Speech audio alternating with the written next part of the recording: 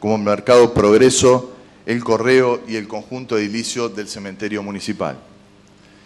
Contamos hoy con un sistema de parques y paseos que recalifica distintos sectores de la ciudad y que seguiremos preservando y cuidando todos los días. Vamos a jerarquizar los corredores ferroviarios y los espacios costeros, transformando esos viejos terrenos en paseos urbanos parquizados y con equipamiento adecuado para el disfrute de todos. Pondremos en marcha el proyecto para, para construir el Parque del Norte, una propuesta que le dará nueva vida a los terrenos del viejo relleno sanitario en articulación con el actual Jardín Botánico sobre Avenida Gorriti. Además, insistiremos ante el Gobierno de la Nación para que Santa Fe reciba los fondos necesarios para hacer realidad el Parque de la Constitución Nacional, recuperando la zona donde funcionara el viejo volcadero municipal.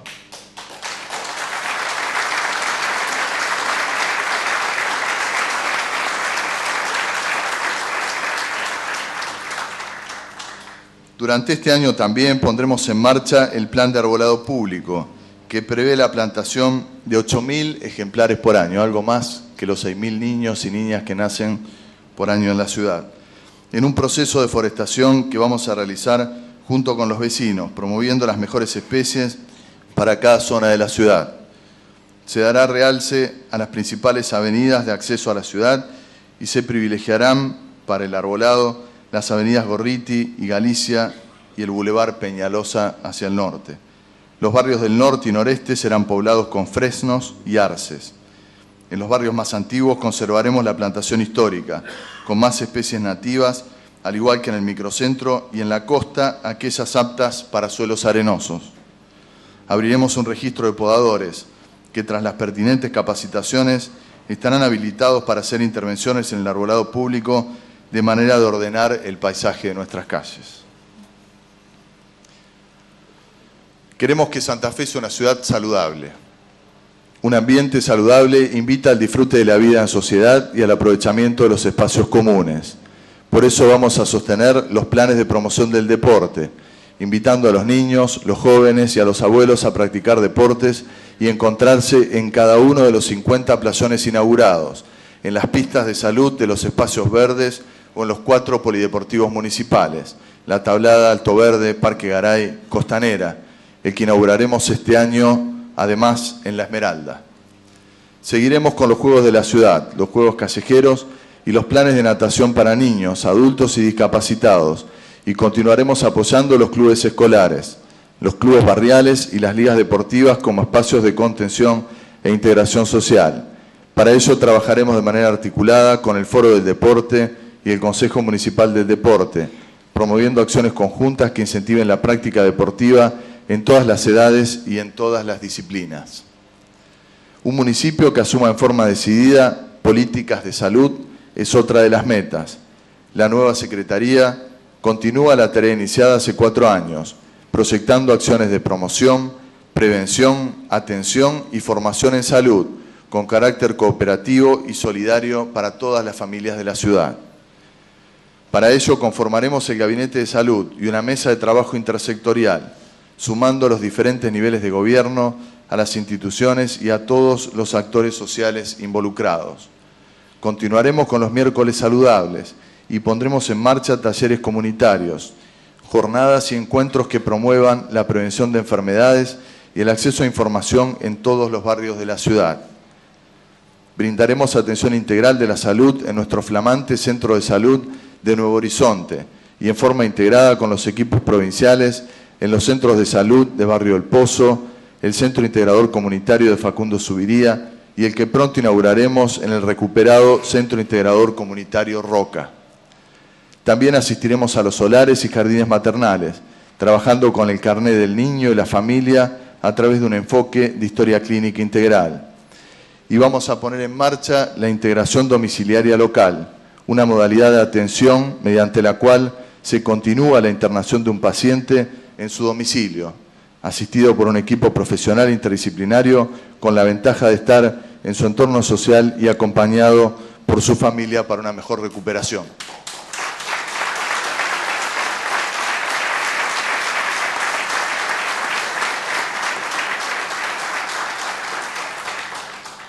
Queremos que para 2020 Santa Fe sea una ciudad con oportunidades para todos. Construir una ciudad más integrada es un desafío que atraviesa todas las políticas. Nos propusimos avanzar en el camino hacia una Santa Fe más inclusiva, que incorpore en su entramado social y productivo al conjunto de la sociedad que habita en ella y le asegure las condiciones reales de autonomía, equidad y calidad de vida. Pondremos en marcha el Gabinete Social, que servirá para articular las políticas sociales en forma integrada con los gobiernos provincial y nacional, en contacto directo y permanente con los sectores de mayor vulnerabilidad.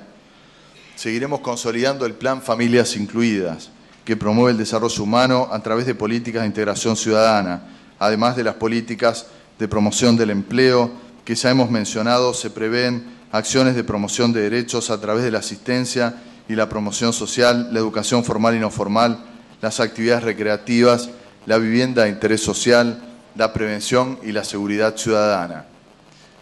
Estos proyectos se articularán en el territorio a través de los solares, espacios que ya no se limitan a la provisión de comida, sino que se han transformado en el ámbito por excelencia de anclaje de los trabajos del municipio de inclusión social en relación a la educación, la nutrición, la salud, los deportes y la cultura. Continuaremos con el programa Huertas Urbanas para que más familias produzcan verduras y hortalizas para autoconsumo y así mejorar su situación alimentaria y nutricional. Profundizaremos el trabajo realizado con el objetivo de promover la igualdad de derechos, oportunidades y trato a través de programas como el de Igualdad en la Diversidad, desde el cual se han creado áreas específicas para atender las problemáticas relacionadas a niños y adolescentes, jóvenes, adultos mayores, discapacitados y mujeres en relación a la cuestión de género y temas como la diversidad sexual. En el mismo sentido, seguiremos apoyando el trabajo de las vecinales y de las organizaciones no gubernamentales.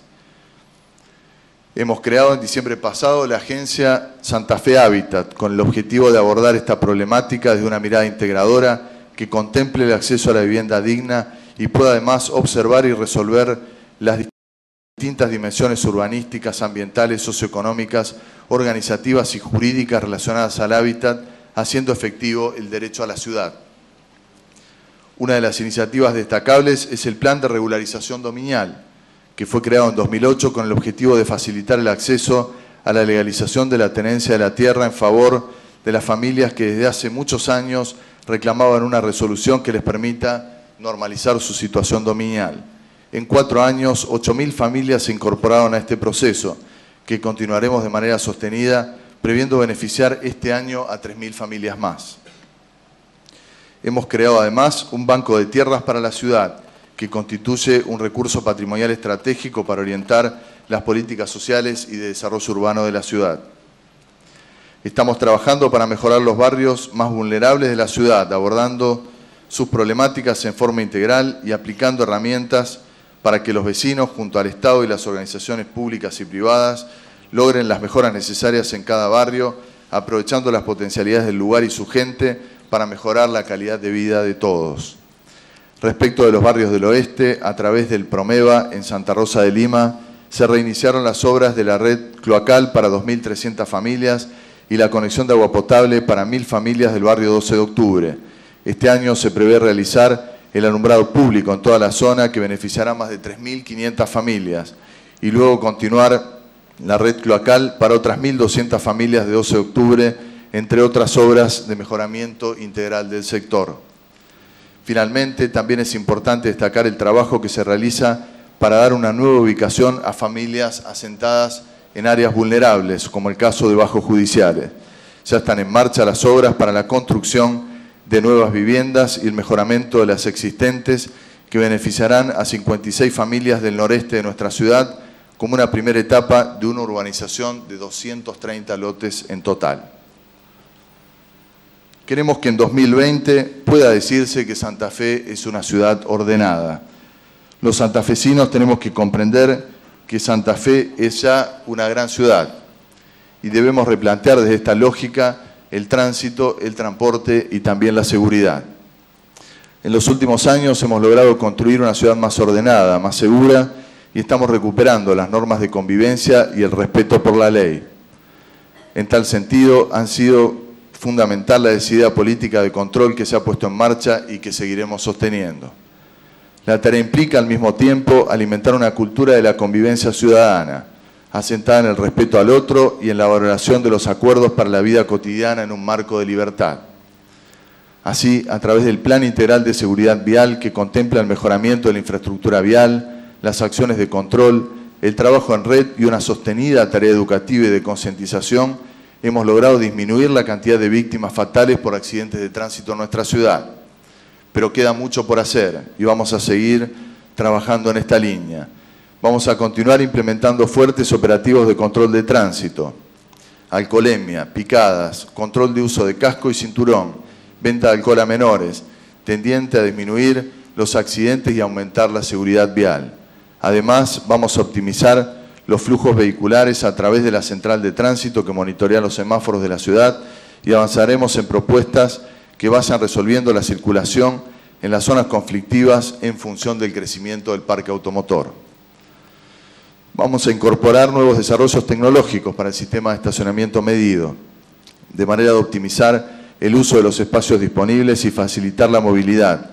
Y estamos ampliando las cocheras habilitadas en cada nuevo edificio e impulsando emprendimientos privados para que haya edificios de estacionamiento acorde a las demandas actuales de estacionamiento del microcentro de la ciudad.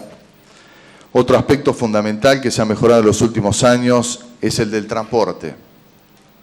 Santa Fe avanza hacia un sistema integrado del transporte público que contempla las necesidades de los distintos barrios, la relación entre los distintos subsistemas y la incorporación de alternativas que favorezcan la movilidad urbana y desalienten el uso de los vehículos particulares, especialmente en el microcentro.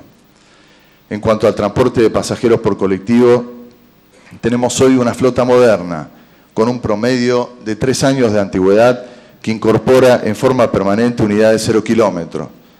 Está demostrado que las inversiones en equipamiento mejoran la eficiencia y la seguridad del servicio. Contamos con un sistema permanente de monitoreo y evaluación que lleva adelante el ente de control del transporte y estamos elaborando una aplicación para poder saber con exactitud a través de un mensaje de texto el tiempo de demora del próximo coche.